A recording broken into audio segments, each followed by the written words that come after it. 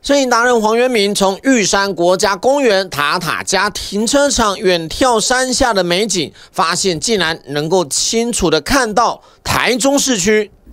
不论是台中市七期豪宅的高楼林立，后方大肚山的中科园区，横跨台七十四线的中科爱情桥，还有一大片绿地的清泉岗机场、海线的风力发电机、乐园摩天轮，甚至最远的三义火焰山。都尽收眼底，就看到那个平地那边山谷的末端，平地那边有一大片的哦，就是城镇嘛，就是那种大楼。对，那那种大楼的话，第一个就会联想到说，哎，那边是不是台中？在另外台北单眼，它可以拉到那个呃换算的拍照的焦段，它是可以到三千呐。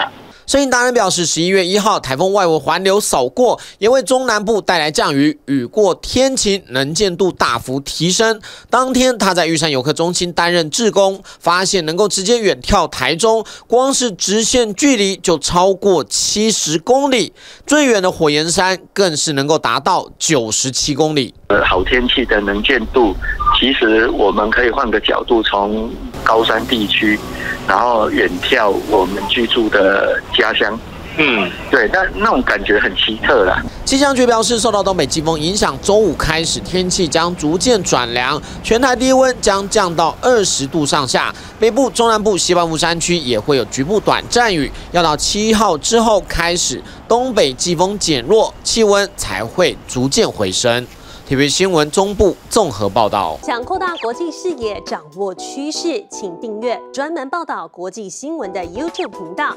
TVBS 国际 Plus，记得要开启小铃铛哦。